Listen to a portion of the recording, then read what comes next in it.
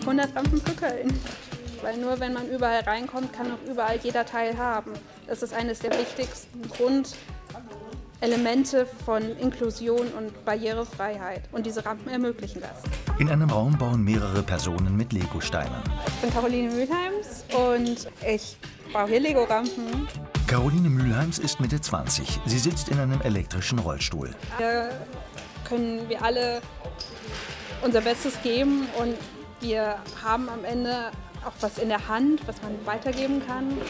Das ist ein wunderbares Gefühl.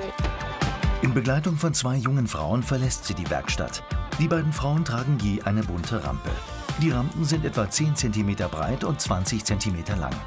Auf einer Straße legen die beiden Frauen sie mit etwas Abstand zueinander an einen Bordstein. So kann Caroline Mühlheims in ihrem Rollstuhl mühelos von der Straße auf den Bürgersteig fahren.